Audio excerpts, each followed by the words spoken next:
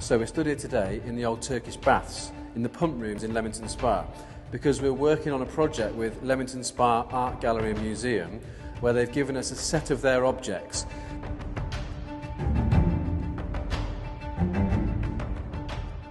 So we've got 15 different objects to scan from all angles to make sure we can get an amazing photogrammetry model of each object.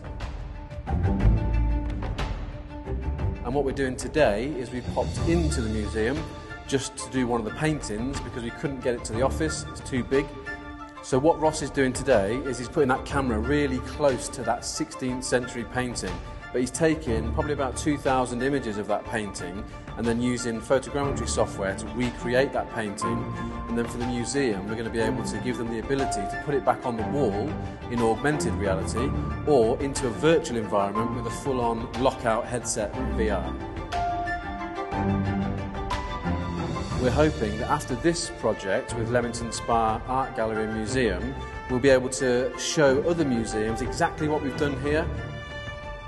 and I think it's going to be replicable all over the world.